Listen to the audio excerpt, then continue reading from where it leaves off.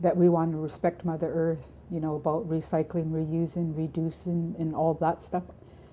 I think we got so spoiled with um, with all the plastics, plastic forks, and all that stuff that, and with the takeouts and the drive-throughs and all that, like um, we utilize a lot of stuff we, we shouldn't be.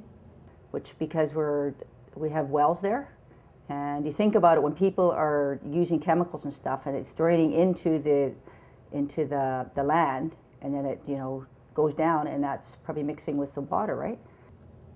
Have those teachings of respecting Mother Earth, rather than just doing it for our own convenience. Um, that was just one of the things, and like I say, the bottom line is respect each other.